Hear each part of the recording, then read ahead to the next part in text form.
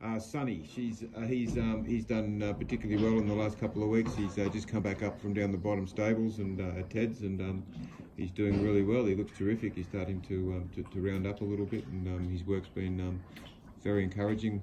It's only been at, at, a quiet level at this stage, but he's um, he's settled into routine really well, and um, happy with where he's at.